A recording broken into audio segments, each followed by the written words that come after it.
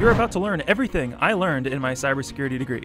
Well, the stuff that I remember anyways, because I pretty much forgot it all. But what I do remember is probably the most important parts anyways. And because I'm amazing at documentation and backups, I found all the stuff I did. So let's begin. It was June 2010. I just graduated with honors from my high school, having taken AP Calculus, AP Physics, AP Stats, and being the valedictorian friend, I was ready to conquer the world with that fresh, unearned confidence high schoolers have. Unlike all my friends who were going to immediately into a four-year university, I had a brain, so I didn't apply to any because I wasn't about to take out $100,000 in student loans, especially when I still didn't know what I wanted to do with my life. All I knew for sure is that I wanted Gladiator and WoW. So that's what I did for two years, working at Target by day, Warrior of Azeroth by night. Those were the days the wild west of MMORPGs. Razer mouse in one hand, Mountain Dew game fuel in the other, not a care in the world.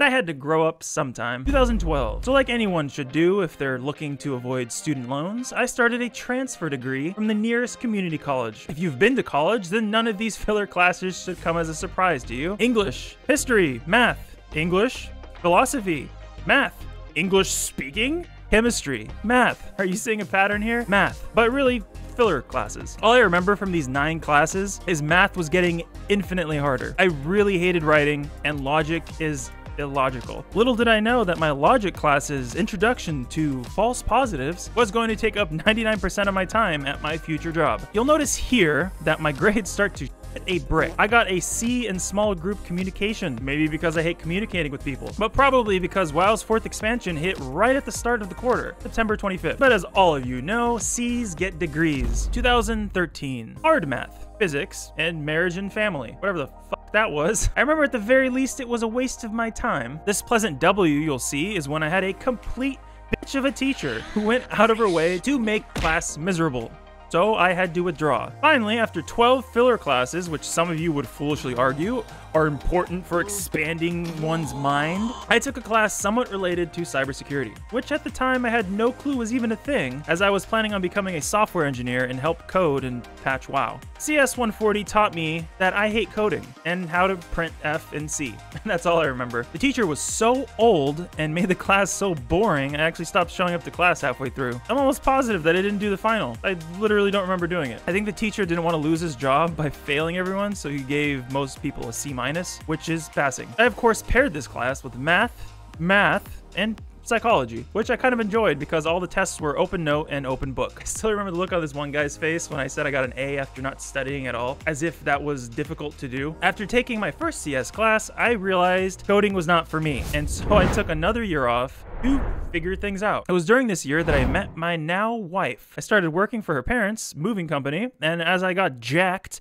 moving pianos and IKEA dressers that broke the second you touched them, the fire was reawakened in me. And I realized it was time to go back to college or work dead-end jobs for the rest of my life. I eased back into college with filler classes, again, thinking I'd take another stab at computer science. Art, mythology, and I retook physics, making sure not to get the same teacher as before, which worked because I passed the class with an American A. 2015. Took another communication class. Clearly I didn't learn my lesson the first time, but after working customer service at Target for a year, I learned how to properly communicate with people. The trick was to pretend that you care. I retook the math class I withdrew from before and then withdrew from physics because I couldn't handle doing physics and calculus while having a screaming four month baby at home. Honestly, if I recall, I was just being lazy and was playing too much WoW. But I persisted, and with one more English filler class, I finally satisfied the ritual set forth by the community college overlords and was granted my transfer associate's degree.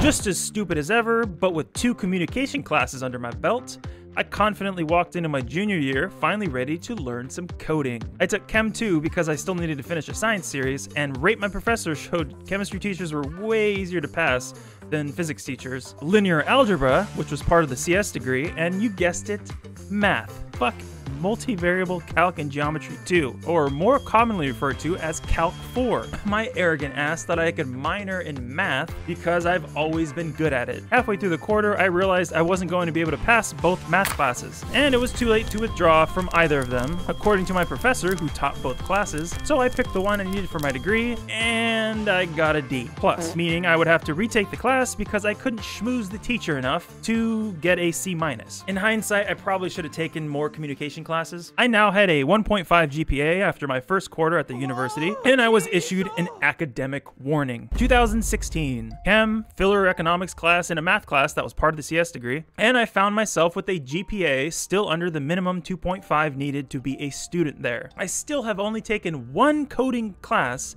in a computer science four-year degree. I think my mind was expanded enough by that point. Finally, a coding class, computer programming and linear data structures, and a filler class. Don't remember anything about the CS class, honestly. I do remember sitting next to very loud and annoying people though, and I got a D retaking linear algebra.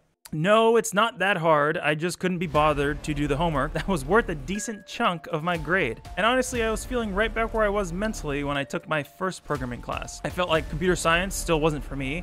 I had absolutely no interest in the assignments, and if you're not interested in coding, then building on the basics is like pulling teeth. It's miserable. As you can see, I was dropped due to academic rules. 11 quarters of mostly filler classes later, and four years later, I was kicked out of the university.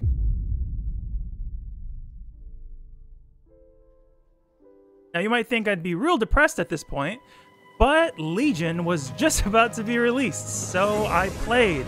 And I played for over a year. Until in 2017, I found my calling, cyber security. It was like computer science, but with almost no coding. The perfect career for me. I could spend all my time on a computer and not have to troubleshoot why my code doesn't work. So I ran, ran to my community college where I had to do another associate's transfer degree but this time I could skip all the filler classes. I started back up with Computer Operating Systems 1, which is where I learned about all things Windows like Task Manager, and a lot of which the A Plus certificate covers. I was learning about how the Windows operating systems worked and not how it was coded. I was loving it. I felt like everything made sense. I almost enjoyed doing the assignments, and my grades reflected it. My first quarter, I had all A's. Also, had two filler classes, but only because CIS 105 was a prerequisite to all the other classes that I needed, and I needed 12 plus credits to obtain full financial aid. And I wanted to get more ripped. 2018. After Windows Computer Basics, I had open source operating systems, which was 100% Linux. We learned Linux commands, how it worked, how the kernel worked compared to Windows operating system, virtualization, where we learned about VMware, VirtualBox, and hypervisors in general. And of course, Cisco, Networking 1 which is probably the most fun I've ever had in a college class to date. The Cisco series was the goat of my cybersecurity degree. We learned about Cisco's proprietary configuration language, general network protocols, and did labs two times a week with actual routers and switches. Basically, the Cisco labs were the professor drew a network on the board with the required configurations and we had to make it with real equipment. Once we were done and all network checks were passed, we could leave for the day. The labs are probably why networking stuck with me as well as it did. My following quarter, I took Intro to Computer Security, which is my first real taste of Metasploit, Google dorking, and we finally were introduced to Microsoft's inglorious spawn, affectionately referred to as Windows Swiss Cheese XP. We broke up that operating system faster than Leonardo DiCaprio when his girlfriend turns 25. Following my spring quarter, I had to take a summer class at the university I was dismissed from to allow me to start as a junior in the following year in the spring. If I didn't take this one class in the summer, I, I kid you not, would be set back an entire year because it was a prerequisite for a lot of the other classes and was only offered during certain quarters. I had to find a way to pay the $2,500 cost of the class since I had lost financial aid when I was academically dismissed, which was hard to find because I just had my second kid in March, so money was tight. The summer class I needed to take was none other than Formal Languages and Functional Programming, otherwise known as Discrete Math. Now, I wasn't the same idiotic student I was before, shirking on my homework and refusing to study for tests. I was Ukraine Ape, gladiator of Azeroth. Battle for Azeroth came during finals week, but by that time, WoW had lost its luster, I was not as obsessed as I had been in the past. There was hope for me yet. I managed to get a B when it was my only class. Class went over logic structures, equations, and formulas,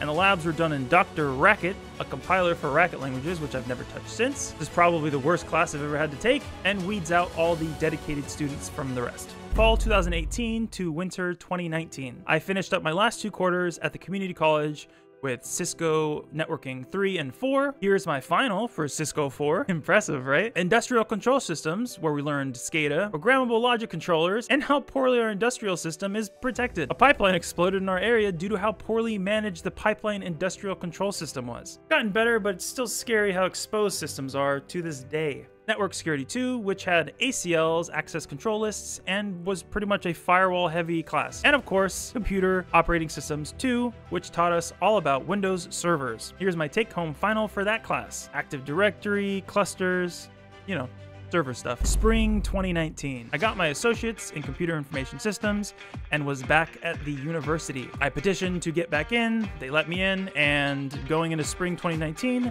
as a junior was weird. no one else had gone down this weird ass path that I did, and everyone in my spring classes knew each other from going through two years at the community college together. I had database structures, which was all SQL. I learned how the database was structured, go figure, how to create queries, but most importantly, how queries can be abused, which, as you know, SQL injections are a buzzword in cyber. I also took computer security class that covered security policies, cryptography, and security threats know, big picture concepts that I actually don't remember all that well. We had an assignment on open source intelligence, which was a bit eye opening.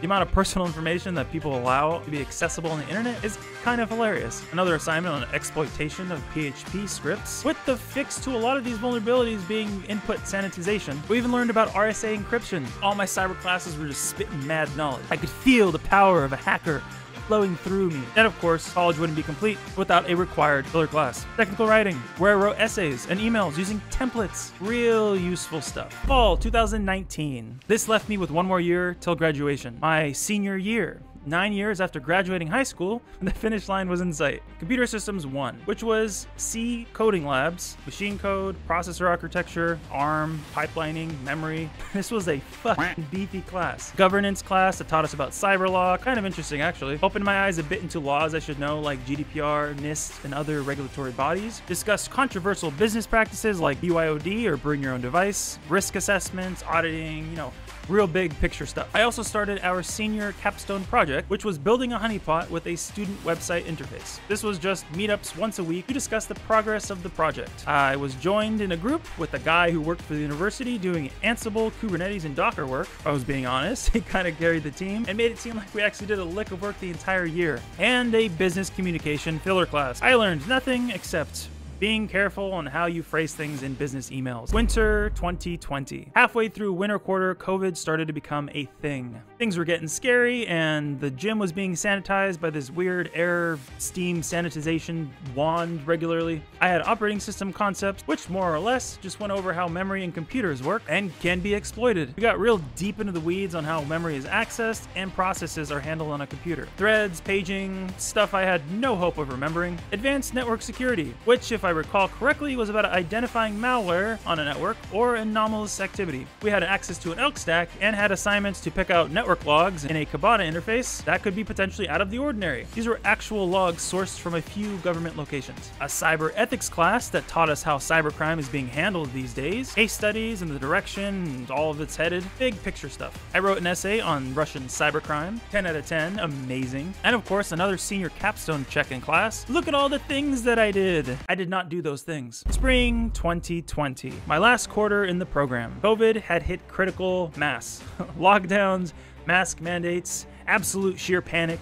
New Jersey today becoming the sixth state to close all non essential businesses, joining California, New York, Illinois, Pennsylvania, and Nevada.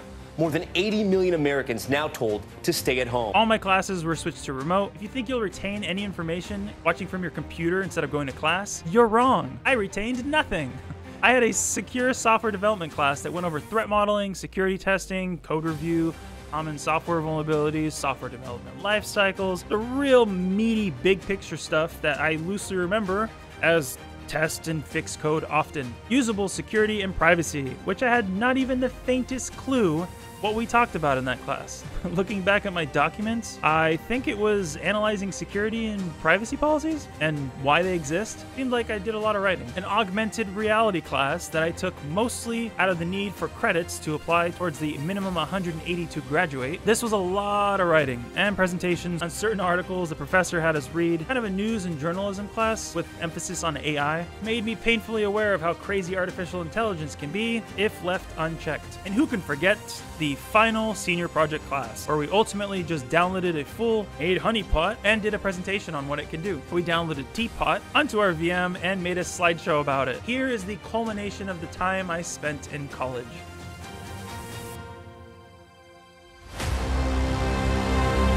And at the end of the quarter in 2020, I was done. Took me 10 years, but I did it. A bachelor's in cybersecurity. Would I do it all again? No, I'm doing certifications.